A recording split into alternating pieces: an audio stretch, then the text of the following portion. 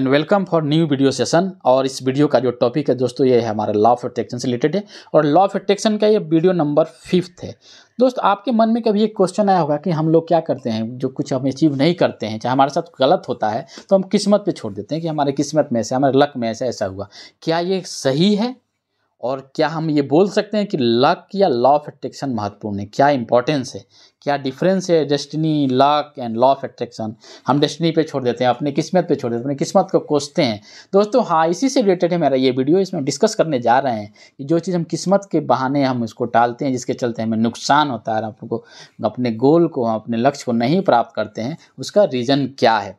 तो दोस्तों, ये जो लॉ ऑफ़ अट्रैक्शन है, इसको मैं फिर से एक बार आपको रिमाइंड करा देना लॉ ऑफ़ अट्रैक्शन क्या है? बेस्ड ऑन हमारा एनर्जी जो है और हमारा जो सोर्स ऑफ़ फ्रीक्वेंसी है, इस पर डिपेंड करता है। और everything is is energy in the universe चिरंतन सत्य है। और इसको आइंस्टीन साहब ने ही बताया है कि क्वेश्चन के माध्यम से equal to M C square के माध्यम से उन्होंने एक्सप्लेन भी किया है। और हमने ये भी जाना है कि our desire our goals are made of matter which is made of energy and has specific frequency her energy का स्पेसिफिक फ्रीक्वेंसी होता है और वही डिसाइड करता है कि एनर्जी लेवल आपका क्या है, आपकी सोच के हिसाब से, आपके थिंकिंग के हिसाब से, आपके बिलीफ के हिसाब से और आपके एक्शन के हिसाब से आप अपनी फ्रीक्वेंसी को कंट्रोल भी कर सकते हैं। इसको भी मैंने डिस्कस किया लास्ट के वीडियो में कि कैसे आपको कंट्रोल करना है और कैसे सही आपको फ्रीक्वेंसी जनरेट करना है। अब हम डिस्कस करने जा रहे हैं कि जो हम फील करते हैं, जो थॉट्स है हमारा, कि इस सिचुएशन में हमें कैसे उसको डील करना है और क्या कारण है कि हम किस्मत पर छोड़ देते हैं। कुछ लोगों की किस्मत पर नहीं छोड़ते हैं, फिर अपने आप को एक सही डायरेक्शन में आगे बढ़ाते हैं और अपने काम को करते हैं। तो दोस्तों, जो हमारा सोर्स ऑफ़ फ्रीक्वेंसी मैंने पहले डिस्कस किया था feeling thoughts belief and action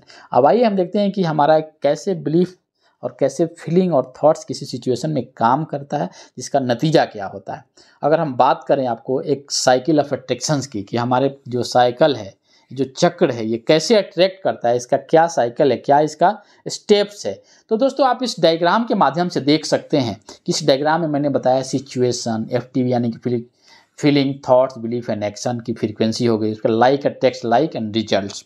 देखिए, जब हम किसी भी सिचुएशन में रहते हैं तो सिचुएशन के हिसाब से क्या हमारा फीलिंग और थॉट्स जनरेट होता है। जैसे सिचुएशन को हम अगर सिचुएशन पे हमारा कंट्रोल नहीं है, पहला बात तो ये है कि हम जो जो भी आपके सामने हो रहा है, कोई ज़रूरी नहीं कि आपके सब कंट्रोल में है, वो आपके बियॉन्ड है। अगर कुछ ऐसा होता है तो आपका उसमें फीलिंग क्या है थॉट्स क्या है, यही सबसे महत्वपूर्ण है और इसी को ध्यान देना है कि हम कैसे उसको सोचते हैं, कैसे उसको फील करते हैं, जो हमारे फ्रिक्वेंसी को जनरेट करता है। तो दोस्तों, अगर सिचुएशन में आप सही सोच है, आपके सही फीलिंग है तो आपका जो फ्रिक्वेंसी क्या होगा पॉजिटिव फ्रिक्वेंसी होगा। और आपका जो निगेटिव सोच है, और आपकी सोच सही नहीं है, आपकी फीलिंग सही नहीं है, अगर बुरा सिचुएशन है तो उसमें क्या उसका रिज़ल्ट उसका बुरा होगा। आपका जो मन चाहे रिज़ल्ट आप नहीं प्राप्त कर सकते। तो आपको इस समझ में आ गया हो कि साइकिल ऑफ़ अट्रैक्शन क्या है। साइकिल ऑफ़ अट्रैक्शन यही है कि सिचुएशन आएगी आपके सामने सिचुएशन में आप कैसे डील करते हैं, कैसे आप फील करते हैं, कैसे थॉट्स जनरेट करते हैं, आपका बिलीफ कैसे तैयार होता है, उसके हिसाब से आपको एक्शन लेना होता है और उसके बाद आपको रिज़ल्ट मिलते हैं। अब हम बात करें साइकिल ऑफ़ अट्रैक्शन दो तरह की होते हैं negative cycle of attraction and positive cycle of attraction अब थोड़ा इसको हम अच्छे से समझते हैं। निगेटिव साइकिल ऑफ़ अट्रैक्शन क्या है? When we create negatively to negative situation we create a negative cycle of attraction जब कोई चीज़ बुरा है, आपके सामने बुरा हो रहा है निगेटिव सिचुएशन से आपके फेवर में नहीं है, आपके लायक नहीं है, आपके अगेंस्ट है, आपके लिए नुकसानदायक है, वो बुरा सिचुएशन है। और उसमें जो आप बुरा तरह से सोच रहे हैं तो आपको क्या बोलते हैं उसको? निगेटिव साइकिल ऑफ़ अट्रैक्शन बोलते हैं। जैसे मान लीजिए मैं एग्ज़ाम्पल के माध्यम से आपको एक्सप्लेन करना चाहता हूँ। जैसे मान लीजिए आपको किसी केस से आपको किसी ने धोखा दे दिया, आपको किसी ने आपको डिच किया, आपका, आपके विश्वास पर खरा नहीं उतरा, उस केस में क्या कीजिएगा? आप अपनी किस्मत को खोजिए कि नहीं, ये मेरे साथ हो गया, ऐसा ही है, ये गलत हो गया है, मैं तो और बर्बाद हो जाऊँगा, ये हो गए। अगर ऐसा सोच है आपका तो ये आप निगेटिव साइकिल है। और इसी को आप पॉजिटिव लेते हैं चलो उसने अच्छा हुआ, मुझे धोखा दे दिया। चलो ये मेरे लिए लर्निंग लेसन है। अब मुझे क्या आगे करना है, इस पर थोड़ा ध्यान देना है। जो मैंने पहले, जो स्टेप या प्रोसेस मैंने सही नहीं अपनाया है, वो गलत किया है, उसको छोड़ना है, उसे आपको सीखने को कुछ मिल गया और आप उसको लेकर अगर सही आगे बढ़ते हैं तो इसको क्या बोलते हैं? पॉजिटिव साइकिल ऑफ़ अट्रैक्शन यानी कि निगेटिव सिचुएशन में भी आपको कैसे पॉजिटिव रहना है पॉजिटिव साइकिल ऑफ़ अट्रैक्शन कैसे पैदा करना है, ये फुला आप आपके पर कंप्लीट डिपेंड कर रहा है। तो अगर हम जो बात करें कि साइकिल ऑफ़ प्रोटेक्शन क्या क्या होता है when we react negatively to negative situation we create negative cycle of protection से मैंने पहले बताया है। अगर आप पॉजिटिव सोचते हैं निगेटिव सिचुएशन में, वही है क्या आपका पॉजिटिव साइकिल ऑफ़ अट्रैक्शन से। और कहा जाता है ना कि twenty percent of life is not our hands but the good news is that the rest of our life is in our hand or our, our यानी कहने का मतलब ये है कि हमारा जो लाइफ का कंट्रोल है हंड्रेड परसेंट तो नहीं है बट एटी परसेंट हमारे लाइफ का कंट्रोल है हमारे ऊपर।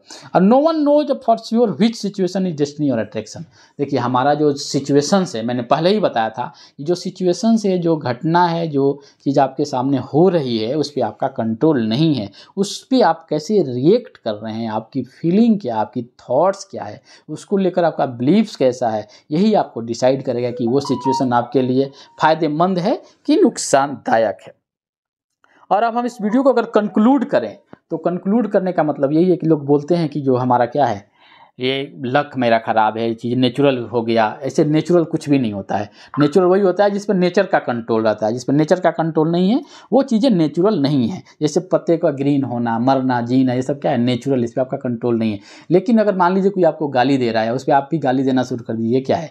ये आपके कंट्रोल में है कि अगर सामने वाला गाली दे रहा है तो आप इसको कंट्रोल कर सकते हैं कि आपको क्या करना है, उस सिचुएशन को कैसे हैंडल करना है, क्योंकि यही है तो कहने का मतलब ये है कि कोई चीज़ लक नहीं है। हम मान के चले हंड्रेड परसेंट लाइफ हमारा कंट्रोल है। जो हमारे कंट्रोल में उसी के प्रति हमको रिएक्ट करना है। जो नेचुरल है उसे आपको कोई फ़र्क नहीं पड़ता। नेचुरल चीज़ों को होने दीजिए। लेकिन जिस भी आपका कंट्रोल है उसको आप, आप कंट्रोल कीजिए। उसके हिसाब से अपने सिचुएशन को समझिए और सिचुएशन को समझ के उसको फील कीजिए अच्छे से। उस पर थाट सही रहिए और आपका बिलीव बनाइए और उसको एक पॉजिटिव वाइब्स के साथ आगे बढ़िए और अपने गोल को हासिल कीजिए। दोस्तों मैं आशा करता हूँ कि जो मेरा वीडियोज़ है ये लॉ ऑफ़ एट्रैक्शंस का ये इसको आपको कहीं ना कहीं, किसी न किसी फॉर्म में अगर एडवांटेज लग रहा है, आपके लर्निंग प्रोसेस में, आपके एक्शन में, आपको बिलीफ में, आपके थॉट्स में फीलिंग में कुछ चेंज आ रही है इसको लाइक शेयर कीजिए, कोई कमेंट है तो कमेंट के माध्यम से दे सकते हैं। मिलते हैं फिर आपसे नेक्स्ट वीडियो में, नए टॉपिक के साथ, तब तक खुश रहिए, मुस्कुराते रहिए, अपने गोल के प्रति अक्सर होकर काम कीजिए।